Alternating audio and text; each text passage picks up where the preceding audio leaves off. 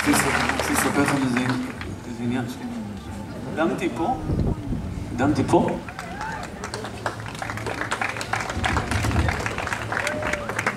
אילן דמתי!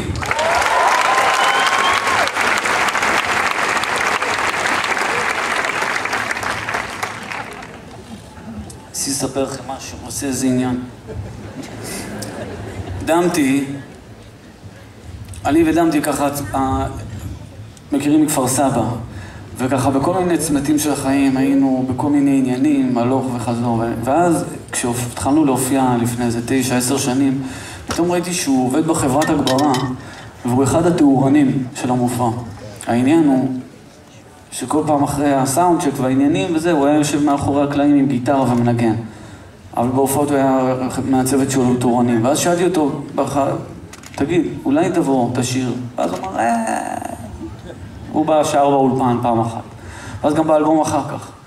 אבל אחרי זה אמרתי לו, בחייאת, תעזוב את הטורה, תבוא תשיר איתנו. אז קודם כל, רציתי להגיד לכם, שאני מאוד שמח, שסוף סוף אילן דמתי שר איתנו.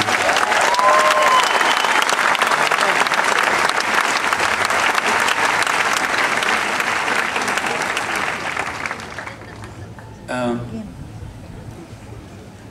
אילן הרשה לי לספר אה, אה, הסיפור שלו, ש... שהוא גדל להיות ככה מוזיקאי, אבל הוא גדל בבית שקט מאוד, עם זוג ההורים חרשים. והיום אנחנו מאוד מאוד מתרגשים, כי הם באו בפעם הראשונה, עופרה.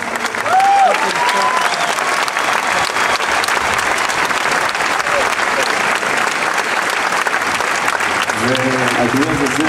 Τους